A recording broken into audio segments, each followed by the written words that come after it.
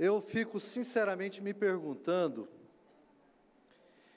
por que que primeiro a Assembleia aprova uma lei com parecer favorável em todas as comissões, com votos favoráveis em plenário, e o governador veta uma proposta que tem um objetivo muito simples: prevenir e punir assédio moral contra servidores públicos do Estado.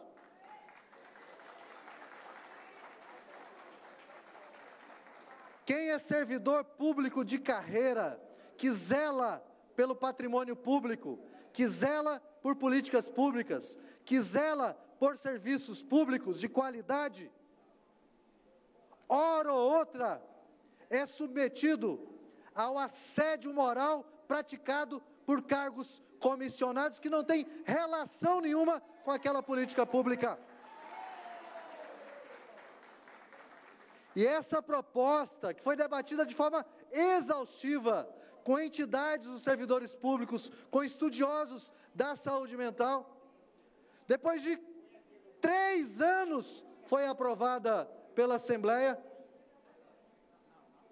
Todo o esforço que se produz a partir dela que é para assegurar a saúde do trabalhador, que é o trabalhador que mais zela para que o recurso público seja bem gerido, que é o trabalhador que mais zela para que a política pública, para que o serviço público chegue às pessoas, sem a contaminação dos interesses políticos, o loteamento político e partidário dos cargos comissionados, que infelizmente ainda é uma regra.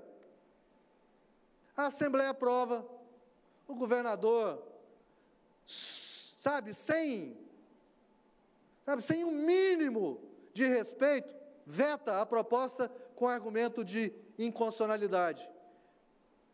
Então, assim, e aí eu não entendo por que a CCJ faz um parecer pela manutenção do veto. Não entendo. O governador que é contraditório, mas é contraditório, porque fica apontando o dedo para a Assembleia o tempo todo, atacando este, aquele parlamentar ou a própria instituição, dizendo: a Assembleia não sabe fazer lei, a Assembleia não sabe votar lei, a Assembleia vota um monte de coisa que é inconstitucional. Mas quando, infelizmente, algo que é flagrantemente inconstitucional é aprovado aqui no parlamento, ele sanciona, para não submeter à pressão daqueles que o sustentam. E quando uma proposta legítima, legal, constitucional como essa, que preza pela saúde mental do trabalhador do serviço público, veta. Quando a Assembleia aprova um projeto que proíbe hidrelétricas no Pantanal, no Rio Cuiabá, cumprindo o seu dever constitucional de legislar sobre o meio ambiente, veta. E sanciona algumas leis que são uma vergonha para o Estado e para o nosso povo. Então eu quero pedir encarecidamente aos deputados: vamos derrubar esse veto. São 100 mil servidores que esperam essa lei aprovada. E não é só dessa legislatura, não, é de muito tempo. Então, deputados, desculpa, mas vamos derrubar esse veto. Por favor, por favor. Só esse. Ok.